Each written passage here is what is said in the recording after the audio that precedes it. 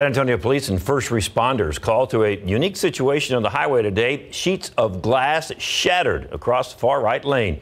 Situation unfolded on I-35 in the southbound lanes near O'Connor Road.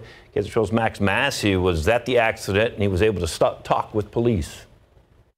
Traffic is almost flowing back to normal here on 35 just behind me, but this comes after two and a half hours of the far right lane being shut down because shattered glass was piled on the road. Now, this was the scene from earlier this morning.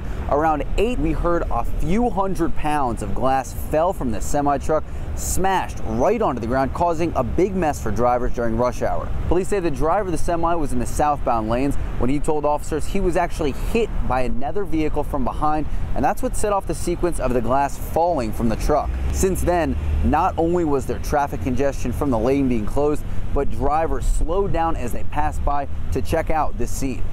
Luckily, police tell me that there were no reported injuries from the crash. As for the situation now, cleanup crews were called to make sure traffic could pick up back to normal. Reporting on the northeast side, Max Massey, KSAT 12 News.